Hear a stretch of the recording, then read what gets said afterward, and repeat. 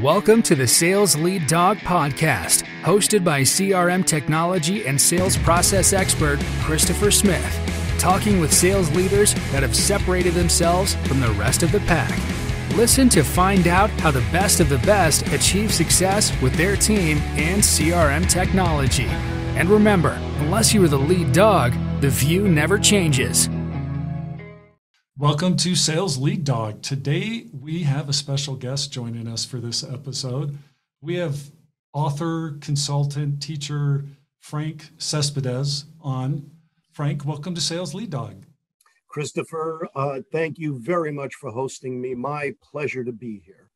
So let, let me tell everyone a little bit about you, Frank. Um, Frank uh, teaches at Harvard Business School for 12 years. He was managing partner at the Center for Executive Development um, he's consulted to numerous companies, been on multiple boards, um, and uh, he's an author, a very prolific author. Author. He's uh, written six books, and we're here to talk about Frank's latest book, "Sales Management That Works: How to Sell in a World That Never Stops Changing." Frank, this book, uh, when I got it and started going through it, really surprised me because I expected a book that was about selling but it's really not a book about selling. Um, can you talk about that and, and your idea or, or why you wrote this book? Yeah, uh, well, I mean, I think it is a book about selling in the sense that I think it's a book that will help salespeople sell better. It will help sales managers allocate their resources more effectively. And, you know, as you know, having read the book, it should also help senior executives get better in touch with their sales models which is a growing issue uh, in companies uh, throughout the world. But I basically had two motivations in writing this book, Chris. The first one is essentially an intellectual professional motivation. Of all the functions in business, sales is by far the most context specific. Selling software is different than selling capital goods is different than selling professional services. Uh, selling also differs depending upon where and to whom you're selling. The reality is, selling in the United States is different than selling in Latin America or Asia or Europe. And yet, sales is that area in business where, for some reason, people feel most comfortable making huge generalizations that are usually unsupported by any data whatsoever beyond what in academia we call n equals one. When I sold for Oracle, this is what worked for me. I'm sure it'll work for you. Or, you know, investors. When we invested in PayPal, that kind of thing.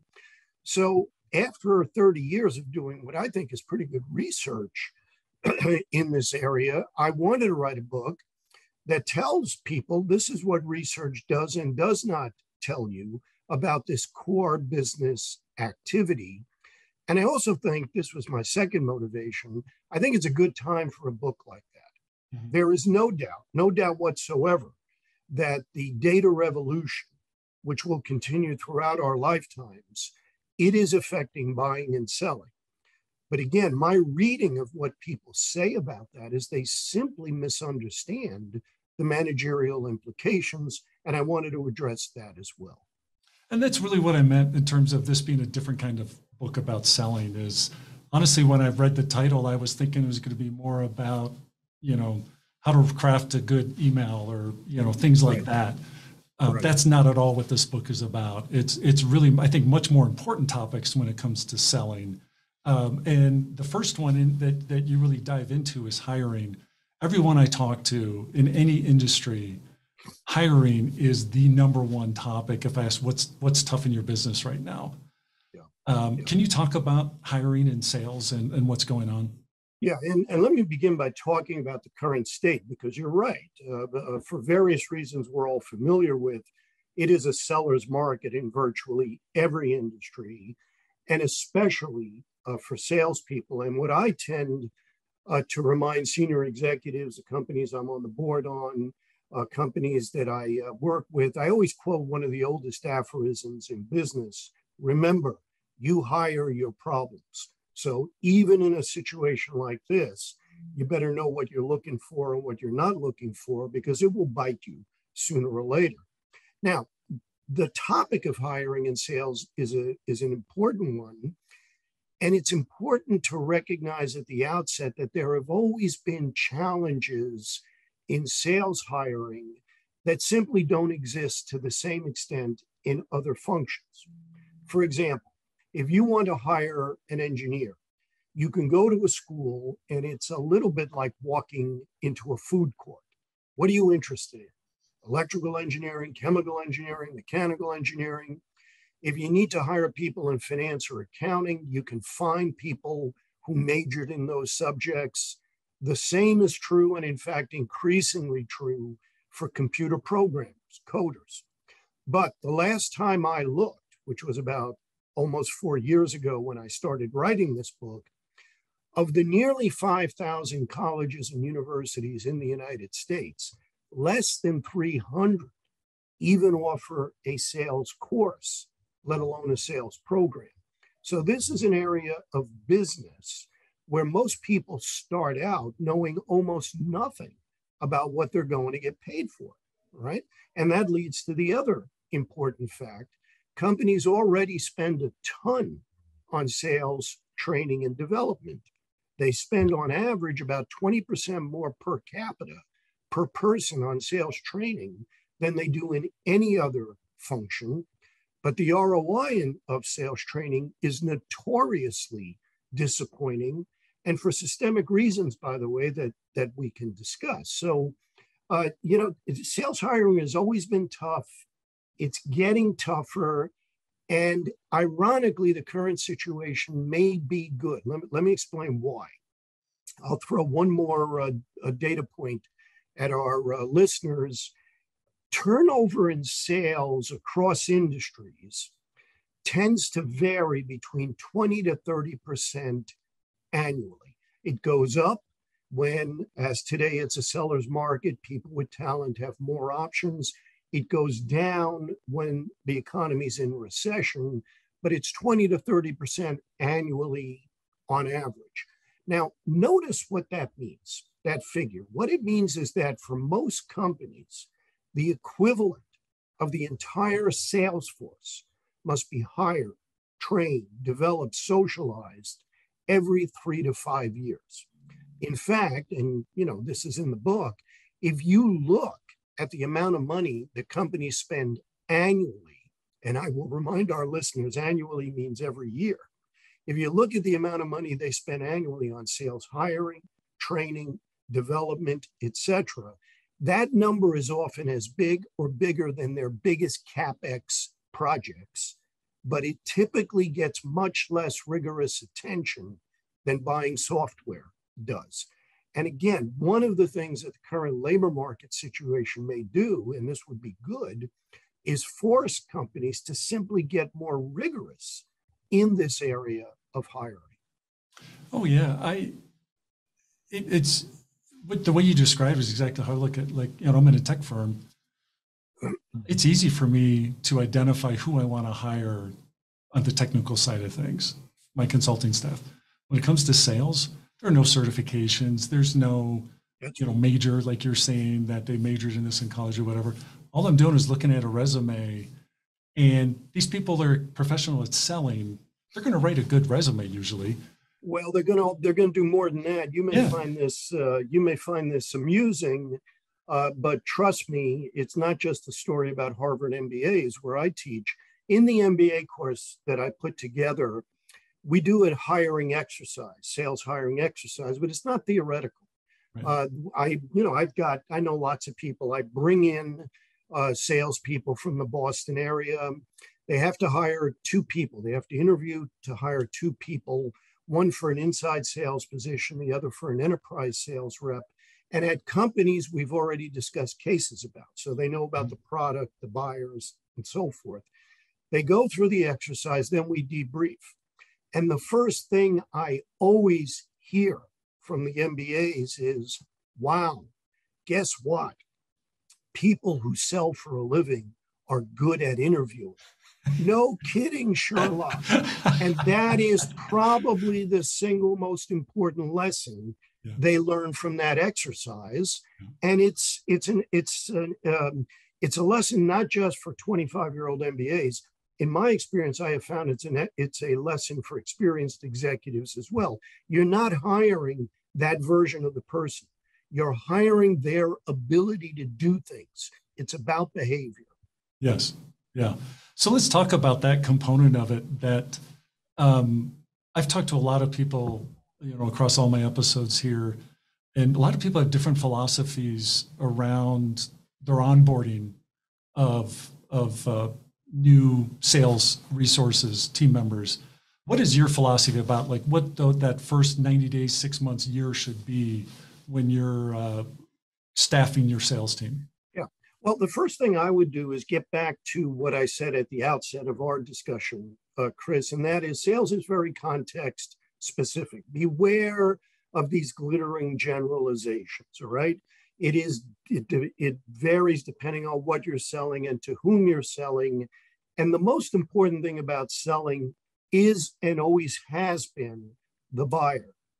Who buys, why, and how. And that's what the task of onboarding is.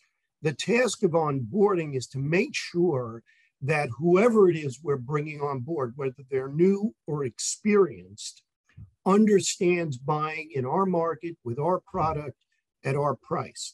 There is no such thing as performance in the abstract in business. That platonic ideal does not exist. There's only performance in our company with our product, in our market with our prices. The second thing I would say is that a lot of companies, a lot of managers, when they think about the uh, topic you've raised, in my experience, they posit a false trade off. They, they basically say, I'm going to hire someone who's experienced. Therefore, I don't need to spend a lot of time, money, and effort on training and onboarding. That is a false, false trade off. I'm sure you know, and many of our listeners have literally had the experience of hiring someone who was a star at company X. And somehow, when she gets to our company, she's no longer a star. Now, think about that. What happened? It's not as though that person suddenly got stupid or they lost their capabilities.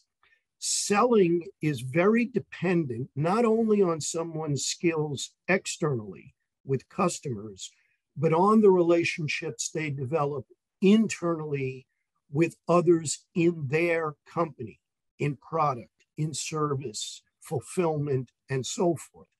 And the other task of onboarding is to accelerate the development of those relationships.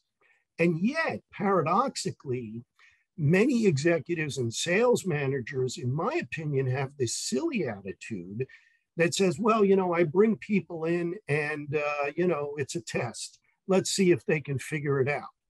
Well, look, I've run a business and, I, and I'm a professor. I know the difference between business and giving tests. That's silly. The job of a manager is not to test people, the job is productivity and maximizing time to productivity. All of that is what onboarding is about, in my view. Yeah, it, it's. Uh, I've actually talked to uh, you know I, am tight with a lot of entrepreneurs, and uh, one of the common mistakes I hear them say is that you know I hired this person to solve my problems in sales, and they did nothing for me. It was a, I spent a lot of money and I got nothing out of it. And they did exactly what you said they would do, you know, where they're just they're I'm hiring someone who's really experienced. They should know what they're doing. That's not the case. You have to know everything you just said. You have to understand their product, who their who their customers are, who their buyers, what's their value prop, all that stuff. You have to know intimately. That takes time. You just can't That's throw them in the deep end and say start swimming. That's it. No, I and I agree. And you know, look, the um, I've been teaching entrepreneurial management since I got back to Harvard Business School uh, almost a decade ago. Uh, and especially in the tech sector, which I know, Christopher, you know very well, it's not as though those engineering tech founders have to be great salespeople. That is not the requirement. But they need to know about who their target buyers are and the buying process. And that, to your point, I, I'm in violent agreement. You can't delegate that. Right. And that's what many of them try to do. Well, I don't know. You figure it out. Doesn't right. work that way. No, no, it doesn't at all. And and uh, that's a tough lesson, I think, for a lot of uh, executives is they think they can outsource that thought process, and there's no shortcuts. There's no silver bullets. You got to do the hard work and heavy lifting. Um, the uh, uh, jumping ahead into and diving a little bit deeper into uh, some of the content in your book, I'd like to talk about the training and development side of things. If we could dive a little bit deeper in there. Um, in there, you talk about sales training should be a process, not an event. Can you go a little deeper on that? Yeah, I mean, you know, if you, you know, getting back to the earlier comment, if you ask yourself why the ROI in sales training uh, is, um, you know, frankly disappointing for many companies, one reason is they treat it as an event. Usually it's tied to a new product introduction. We bring in our business development people, we bombard them with information at that point in time. And what the learning and development people call the forgetting curve is very, very steep in sales. I mean, this is this research has been uh, replicated numerous times, but most people, and especially salespeople, forget what they learned in a training seminar. About 80% of what they learned there, they forget within 60 days. Now, that's a good example of uh, short termism. Secondly, um, there's an over reliance in sales training on the classroom, you know, and I say that as a professor, as somebody who, you know, who, who, who does this. But uh, again, talking about selling is not the same thing as selling. Selling is about behavior, it's about context, uh, specific tasks, a very task-oriented activity. And again, what the L&D people call just-in-time learning is increasingly important. Now, uh, this is an area where technology used appropriately can help a lot. But used appropriately means you have to understand the basics of adult learning, especially in sales. Salespeople pay attention to information when and where they need it, which is usually on their way to a sales call or actually during the sales conversation itself. And there are more and more technologies that can help with that. The second thing is salespeople are not studying for the final exam in my course or your course or anyone else's course. It's about behaviors. And most salespeople learn the most from their peers, the best of their peers. It's what, again, the learning people call modeling behavior. Sales is a classic example of this. They look at the best of their peers and essentially they they learn, hey, the way you dealt with that price objection. Now that was clever. I'm going to use that. The way you framed the value proposition. I hadn't thought about it that way. And again, part of the role of training is to accelerate that process, to accelerate the process of best practice peer learning in the sales force. Yep. I had a guest on uh, a while back that his first job was selling encyclopedias door to door. And, you know, so this is going way, dating himself quite a bit just by that saying that first job, right? Um, but he he learned an important lesson that he said, you know, Chris, uh, the the first true lesson I learned in sales is whenever I went off script, I didn't get the sale. But if I stuck to the script, it worked, and I closed business. And so it gets back to you know those you know people selling they did the research to figure out what is the messaging, what works, and if you follow that messaging and you do it this way, you you have a much better chance of succeeding. It seems like a lot of sales training today it's much more focused on almost kind of winging it you know build the relationship but they're not giving that kind of structure to their sales team do you agree with that or maybe disagree with that in some ways i do uh, i think actually the problem i see in some ways is the opposite okay. chris i think that as well as an over reliance on uh, classroom training mm-hmm. i think there's also an over reliance on in a given sales force a particular sales methodology, whatever it is. Now, sales methodologies are important. You know, you're, you're using the right word, structure. All right. And uh, uh, we need a structure to scale. It helps with metrics. And, uh, you know, at the end of the day, any good uh, structure is in keeping with the way buying works in our market today, not yesterday. The problem I find, however, is that many companies are too rigid about this. Mm. And uh, the reality in most sales jobs, not all, but in most, and by most I mean about 80%, the methodology is good for many of those prospects and customers, but not all. Mm-hmm. What the theorists call adaptive selling is usually a very important part of sales success in most sales jobs. But notice that most sales training firms have a huge incentive to say that their methodology will work for your company, my company, their company on Mars, Jupiter, Venus. Well, you know, buyer beware. It's your job to understand what the tasks are and how you're developing those people and how to use methodologies intelligently, not in some rote manner. Yep.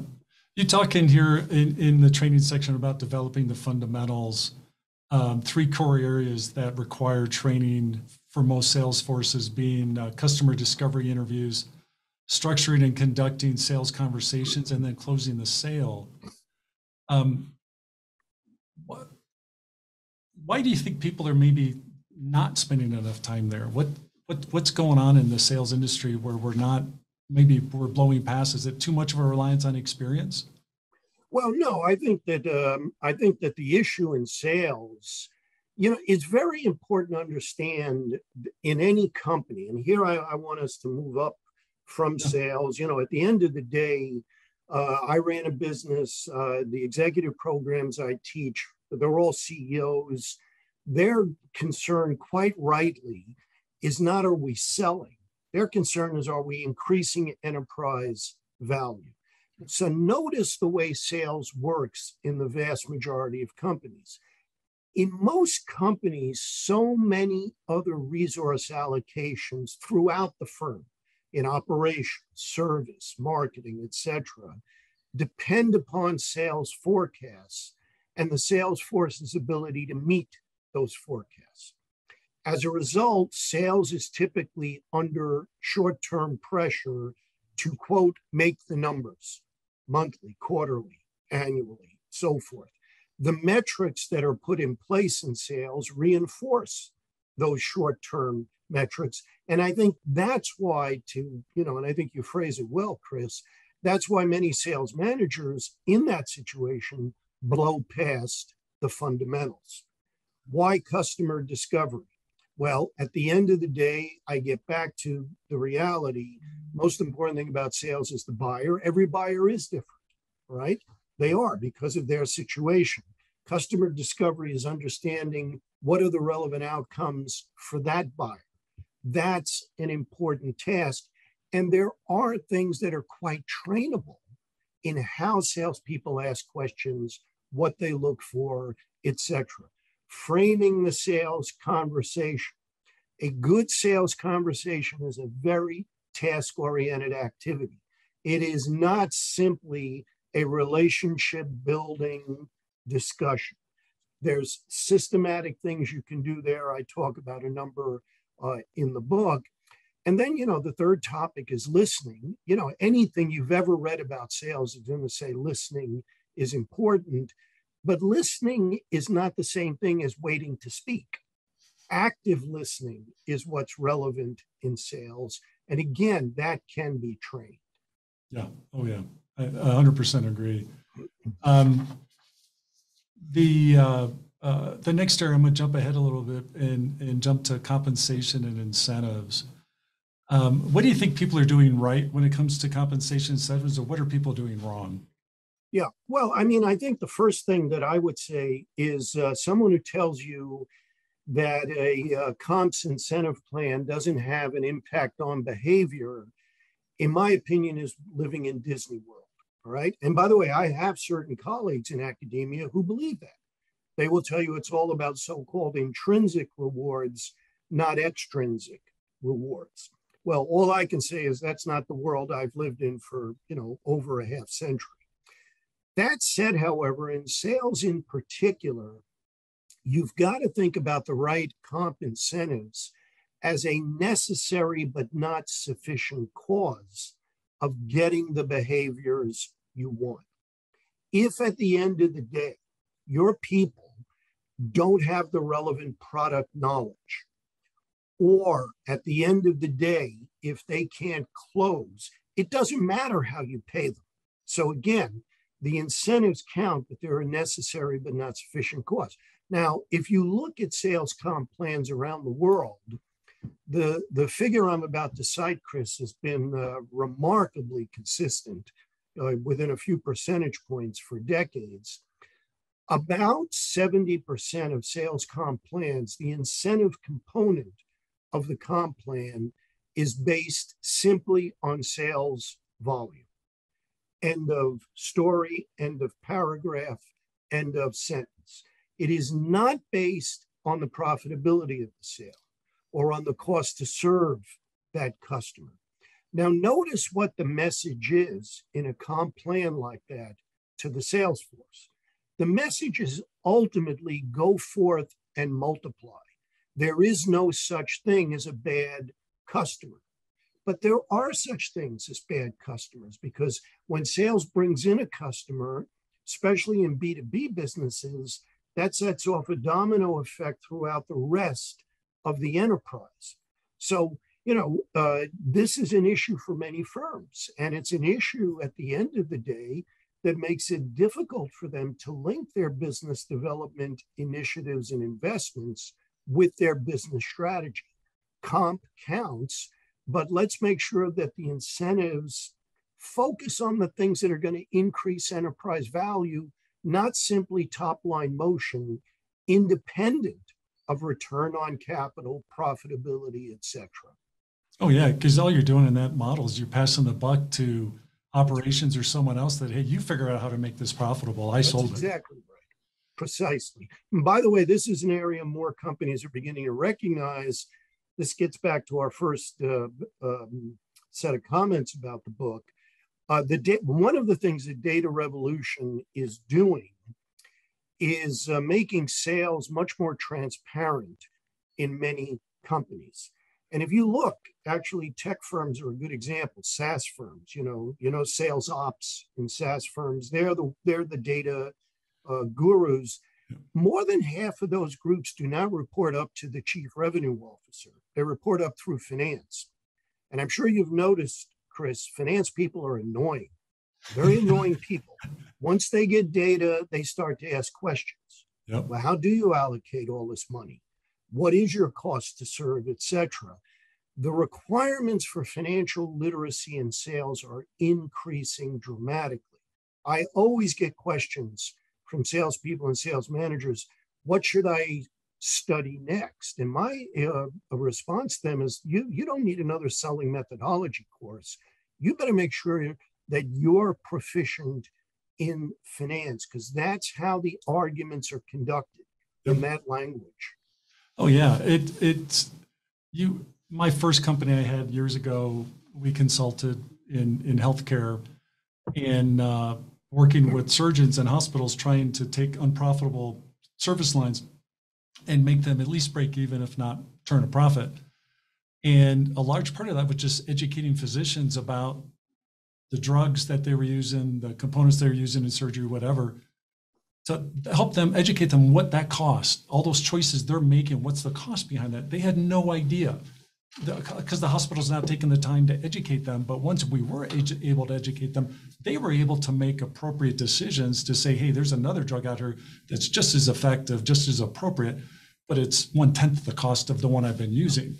Yeah, um, it's it's a very good analogy, and what I'm saying is that's the way finance looks at sales. But notice that's a dialogue that has to be a two-way. Exactly. Finance people have to know something about sales models, and many right. of them don't. That's right. And you know it's not just about the bottom line number you know that it, it's you have to give people some some help to be effective. And so yeah that that's fantastic. Um, how do you design a fair compensation plan?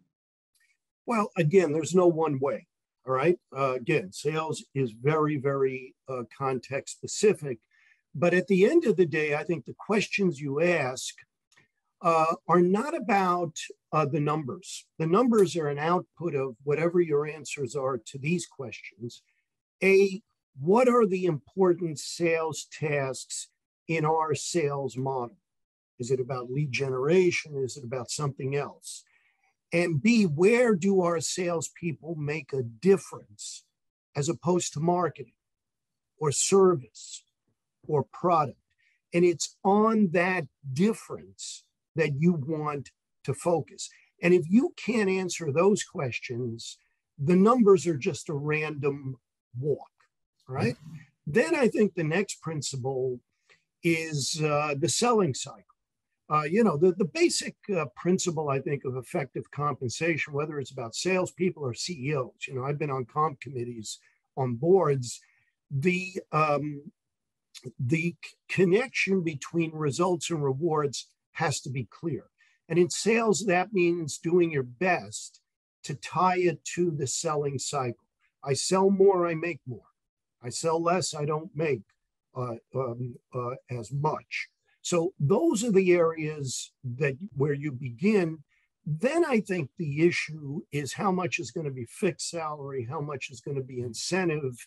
And there I think there's usually good data available in most industries about how it's working at other companies in the industry. So you usually have a range. That part I, in my experience, and I've got a lot of experience in this area, that part I find is relatively easy. The key things are the questions up front. What are the tasks? Yep. Where do our people make a difference? Yep, that's great. Um, let's talk a little bit about something that I'm very passionate about: CRM based on your experience when you were running your company crm did you love it or did you hate it? Yeah. Well i mean look um, my opinion is only one person's opinion but i'm sure you've run into this. Crm is not exactly the most popular topic uh, among business people in general sales in particular but why is that? The problem is not the software the problem as with any tech tool in how it's used. Any tool is only as good as the user. And the issues with CRM, I think, are the following one is um, a sales management issue. Most, the output of most CRM systems is an aggregate number, set of aggregate numbers based on very diverse inputs, right? One salesperson says a qualified lead is anybody who called me up. Another person says, no, a qualified lead is somebody I spoke to that has a budget, etc. The CRM system is, again, the problem is not the software. The problem is how it is used. That's comment number one. Comment number two is, again, a managerial issue, not a technology issue buying in most industries, this again is what my book is about, but buying in most industries has already changed dramatically. In both B2C and B2B businesses, in most categories, the prospect is online and offline at multiple times during their buying journey, dealing with influencers, dealing with buying forums in B2B markets, etc. And the CRM system is usually set up in terms of, quote, a linear funnel or pipeline. That's not the way buying works. Now, that doesn't mean the CRM system is irrelevant or unimportant, quite the opposite. In an omni channel buying world, you need data more than ever. But as always, you need to put that data in context. And that's something that human beings do, something that sales managers do, so my basic comment about CRM is a, it's amazingly unpopular, but it's unpopular because managers often don't manage. You, you, know, Peter Drucker wrote a, a wonderful article basically about this over 60 years ago. And the title of the article is wonderful. It's called The Manager and the Moron. And the moron is the computer. And Drucker's point is that the computer is a moron, and that's good because it forces us to set the specs. It forces us to ask the questions. I think CRM is a classic example of that. Yeah. I couldn't agree more. It it amazes me when like I'll someone will reach out to say, "Hey, we need help with our CRM," and I start asking why and understand what's going on. More often than not, they're calling us because, "Hey, we're having these problems, and, and we we need a new CRM to fix these problems." No, it's about people and process. Exactly, and I, I just explained, look, there's not a CRM out there that fix bad process or bad data. It doesn't doesn't exist, and unless you're addressing those core issues, um, doesn't matter what technology platform you have, you're still you're not going to be any better off. And and uh, um, it, it's about people, it's about process. CRM's a tool, and I loved it when you said earlier. It's it's a tool. It's exactly what it is. And I you think buy a hammer because you want to pound nails. A hammer on its own can't do a thing to help you. Yeah. You know, you but I have to think know it's how to use it. becoming a, a bigger issue, and I'm sure you've you've seen this. But you know what? What's the current buzzword right now? Digital transformation. You know, you can drive Everywhere. a bus through that, unless you can specify. You're exactly right. Data, a tool, has never been the answer to a management issue.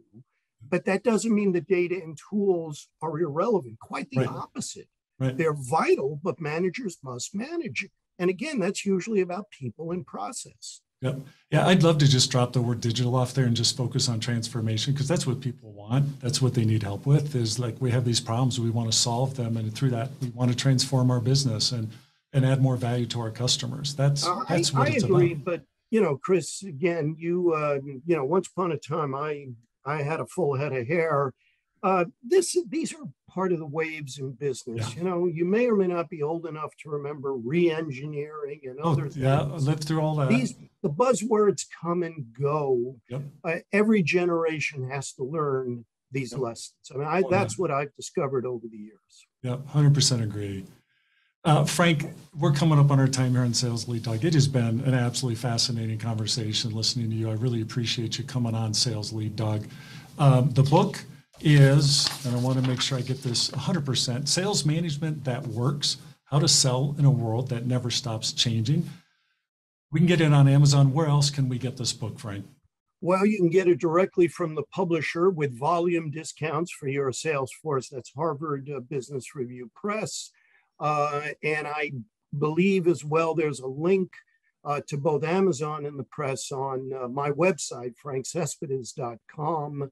Uh, all of those um, uh, standard places uh, to get the book. Yep, and we'll have thank links. you so much for that plug. I appreciate it.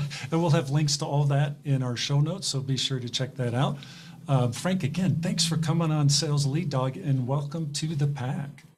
Well, thank you. And I'll say goodbye to you and our listeners the way a guest executive did in one of my courses last year. I thought it was great. He said to the students, now remember, stay positive, but test negative. Thank you.